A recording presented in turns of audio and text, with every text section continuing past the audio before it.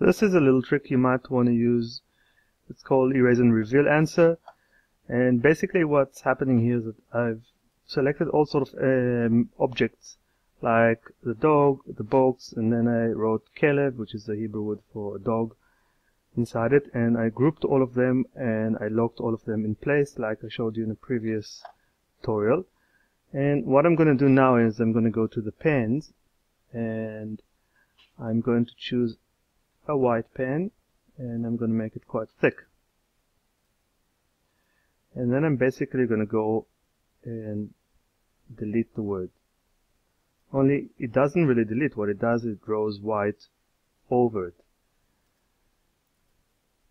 And then the option is to uh, call a pupil and ask him using the eraser to go over it and basically rub off and it reveals the words. a bit like those lottery cards that you scratch off and get the answer.